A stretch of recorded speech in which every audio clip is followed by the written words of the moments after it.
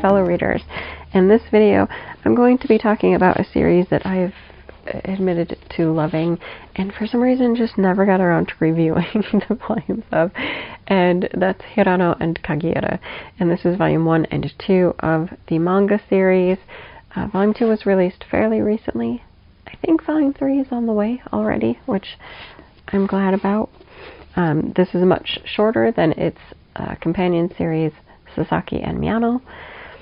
Uh, at least at this point, it's much shorter.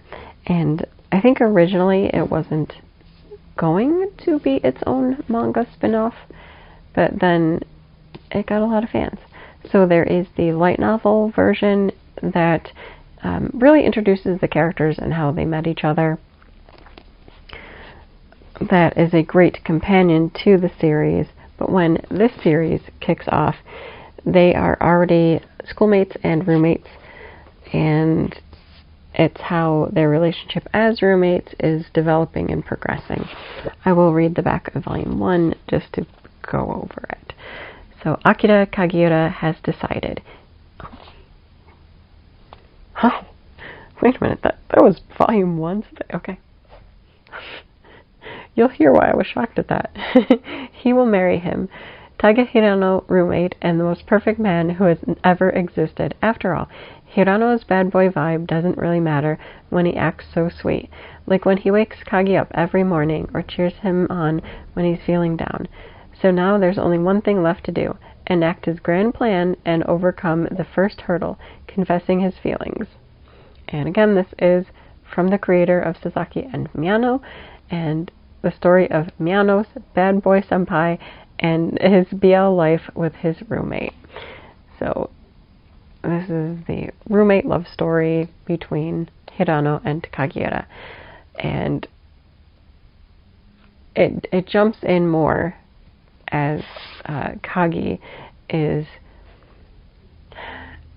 starting to understand, or I guess starting to develop feelings or realize his feelings probably are always had them, but is starting to realize his feelings for Hirano. And so it's it's really cute. You get immediately from volume one that they have a close relationship. He adores his senpai and just thinks he's really cute and sweet. And from there, does decide that he wants to marry him. However, it actually takes some further development and character conversation and everything in order to realize that what he's feeling is a deeper love. Uh, and it, that's actually a really cute part of the whole story because like he he sees his parents' relationship and he adores their relationship. Like he thinks it's the proper relationship to have. It's the joking around with somebody, being really good friends with somebody, wanting to take care of somebody. And he realizes that he has that with Hirano.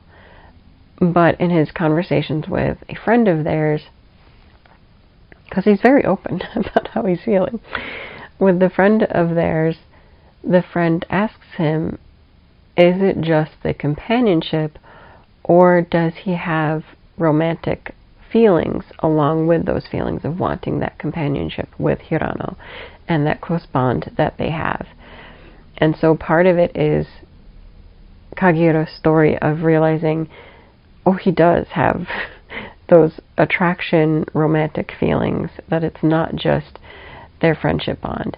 And then it's his quest to confess his feelings to Hirano and then and then um, when he does have that confession, how will Hirano take it and what are Hirano's feelings?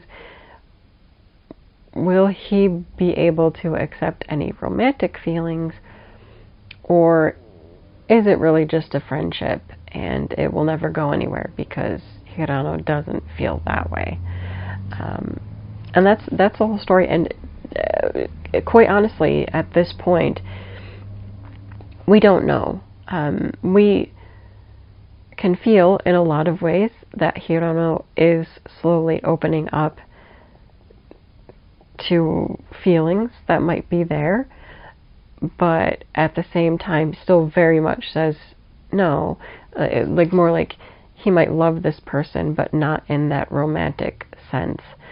Uh, but there's little inklings of that maybe it isn't that simple. Maybe it's not just friendship that he's feeling.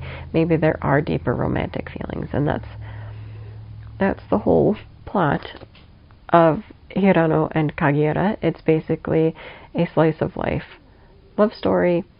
Um, we follow very cute little vignettes um, with the two, how they're interacting in school, and it basically follows the school years.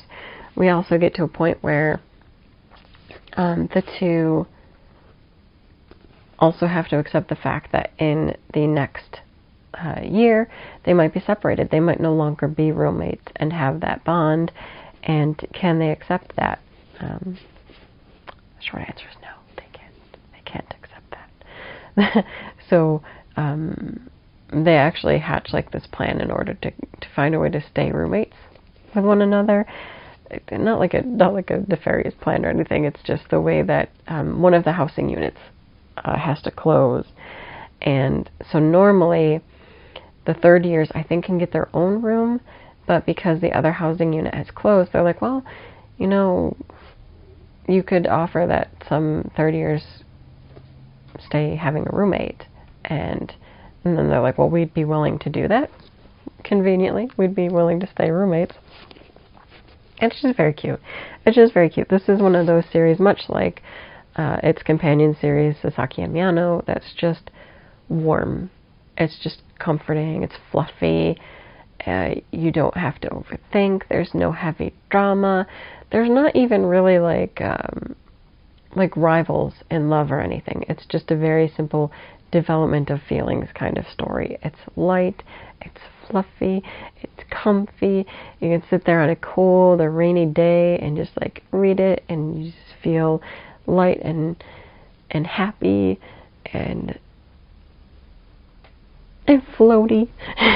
it's just a very sweet, sweet story that um, honestly I think I like Hirano and Kagiura a little bit more only because there's not like the slapstick fudanshi aspect um, that and I I know I say that like I love Sasaki and Miyano don't get me wrong I loved the manga I love the anime I think it's really sweet but sometimes Miyano could be a little much for me with his like shipping people and, and everything. And I mean, technically, Hirano is one of those people that he ships and always wanted to see his roommate and how they like interact with each other. But that being said, I'd rather see this actual story and their relationship because neither one of them came from that background. Like they weren't in the BL zone, they weren't thinking, you know, I'm going to fall in love with my roommate or anything. they were just going to school. And Kagiura just so happened to fall in love with his roommate because he's a really sweet guy that made sure to take care of him and is in general really nice. Like, uh, honestly, Hirano is just a nice person. Even though he bleaches his hair and has like piercings, he's just a really nice person and pretty smart too. When he's on like the I think it's the disciplinary committee, which is so funny. But he like won't he won't uh, stay away from dyeing his hair and having his piercings. Hirano and Kagiura is a beautiful slice of life story. I would recommend it to anybody that likes soft, cozy vibes and doesn't want too much drama, too much anything, just wants a soft, like, love story. That's what you're going to get with this. I, again, not resolved yet, but you know, I got a feeling it's going to have a happy ending.